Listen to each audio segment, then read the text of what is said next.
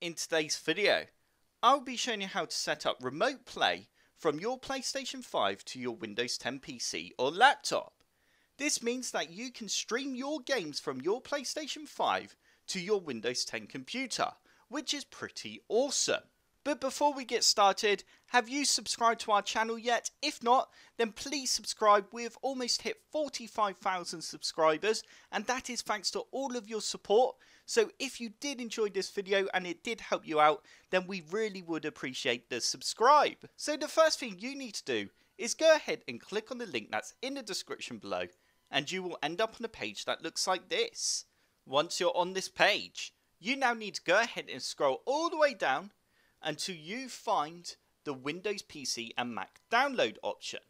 You now need to click onto this button and you now need to scroll down again and click on control your PS5 console from your Windows PC. But make sure you select the option under PS5. You now need to go ahead and click on install the app and you now need to agree to the terms. If you do agree, go ahead and select I agree and then click on download. It will now begin to download the Remote Play installer. Once it has finished downloading, you now need to go ahead and run the setup file. You now need to select your language and then press OK. You now need to go ahead and press Next.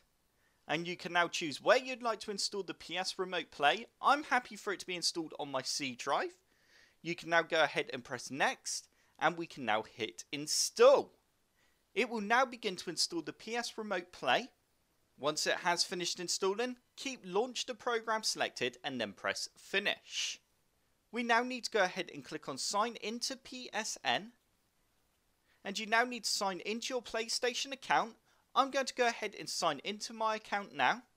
You now need to confirm and continue if you do agree to the data you provide, or you can press Modify Setting.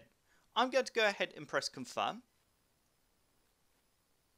You now need to select which console you would like to connect to. I'm going to be connecting to a PS5, so I now need to go ahead and select PS5, and you now need to make sure that your PlayStation 5 is turned on. And you also need to ensure that you do have remote play enabled on your PS5. So as you can see here, it says go to settings, system, remote play, and then turn on. And there we go. As you can see, I'm now connected to my PlayStation 5 if yours isn't working, then you do need to make sure that your PS5 is connected to the internet. I can now go ahead and do whatever I want. I can go ahead and launch Fortnite, for example, and as you can see, it's now launching the game. So that is how you connect your PS5 remote play to a Windows 10 PC or laptop. I hope this tutorial has helped. If it has, hit the like button below and subscribe for more computer sluggish tutorials.